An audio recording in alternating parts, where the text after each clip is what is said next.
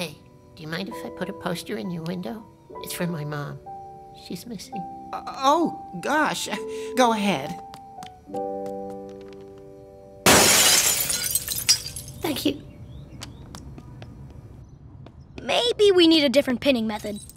Yeah, well, maybe we need a different poster. This photo isn't even of her. Sorry, but it's just advertising 101, man. That's what sells. Babes and babies. And what kind of slogan is this? Banana Barbara? 20% off because she's past her best? That's my mom you're talking about. I told you we should have gone with Banana Barbara, the ripest on the market. Look, I'm sorry.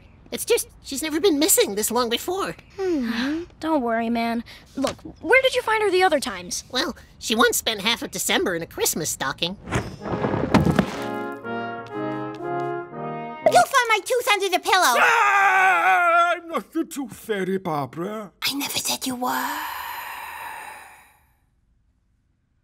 Another time we lost her at the airport, and we found her in a Japanese karaoke video.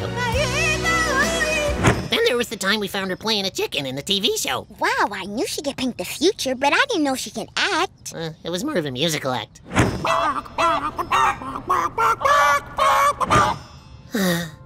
Where is she? Don't worry, buddy. We will find your mom.